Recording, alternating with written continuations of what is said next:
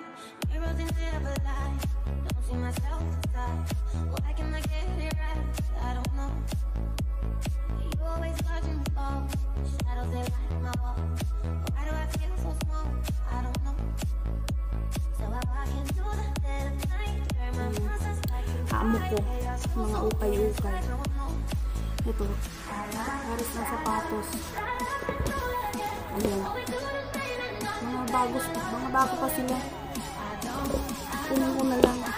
Kasi sabi nga sa akin, pili ka anong gusto mo. Kunin mo. Pero kung gusto mo lahat, ayan. Ito siya guys, mga pantalon. Ayan. Sobrang maganda pa. Tapos, ganito siya magbigay guys. Tingnan mo.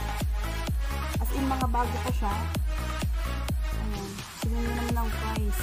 O, diba? Sobrang, ang gaganda. Ayan yung mga dress niya.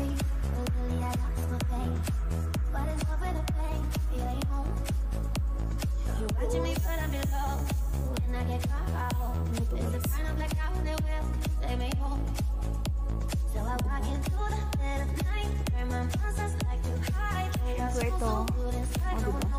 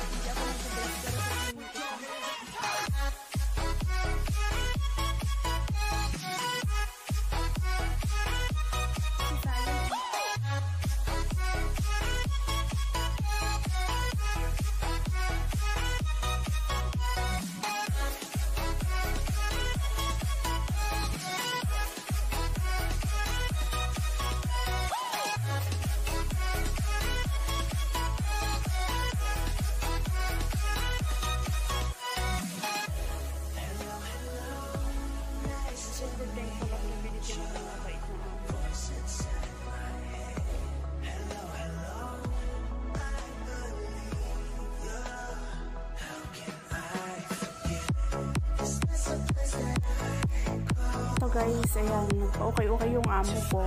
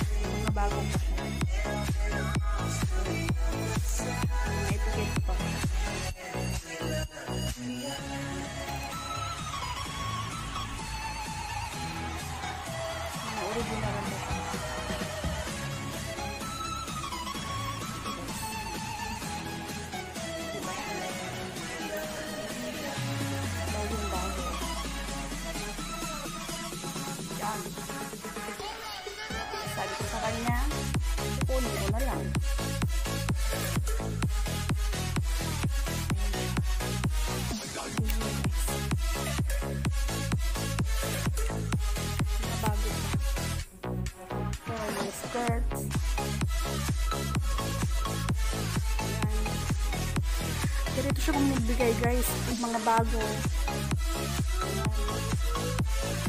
Yung mga bago pa binibigay niya.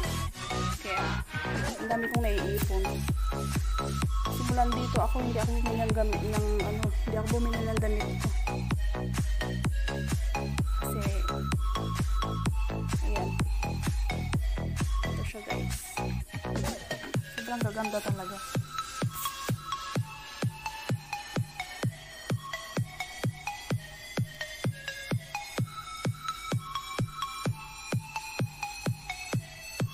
Payat ang amo ko kaso ang gusto kong gusto kong kinukuha yung mga ano niya, mga pantalon niya kasi maganda siya, stretchable.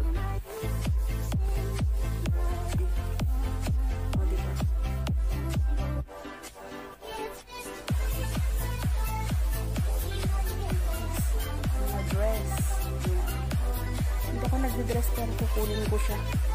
Padala ko na lang sa Pinas. Ano yung price guys? O, diba? Pahingi lang niya. Sakto sa ano, summer. Talaga yung mga pantalon ang kinukuha ko.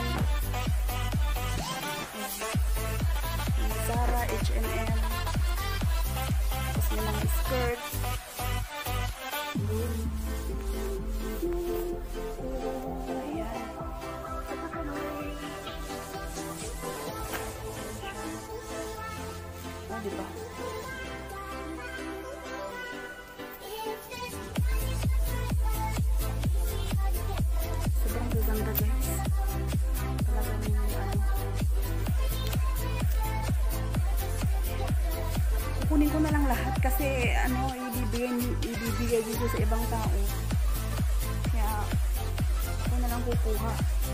Pagdala ko na lang sa Pinas.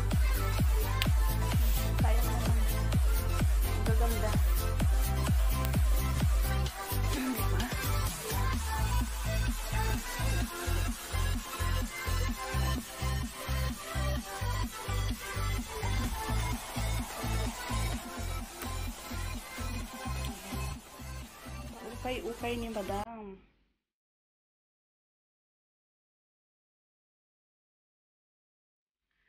May mga sapatos pa dito. Yan guys. Tingnan nyo naman. O, oh, diba? Pero dati marami nang naibigay sa akin ng mga sapatos. Yan.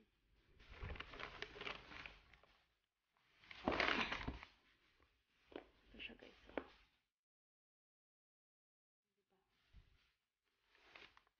Mga boots. Ayan. Ganyan magpa-ukay-ukay ang madam ko.